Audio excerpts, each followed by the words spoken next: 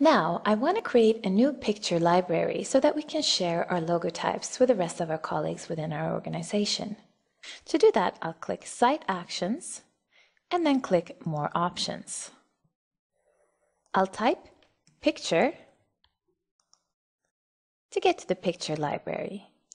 And then I'll give it a name, Logotypes, and click Create.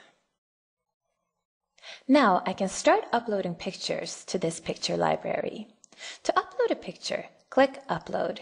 Here you can choose to upload one picture at a time or multiple pictures. If I click Multiple Pictures, Microsoft Office Picture Manager opens up and I can select the images that I want to upload. Here, I'll hold down Shift and select all of the logotypes in this library and click Upload and Close.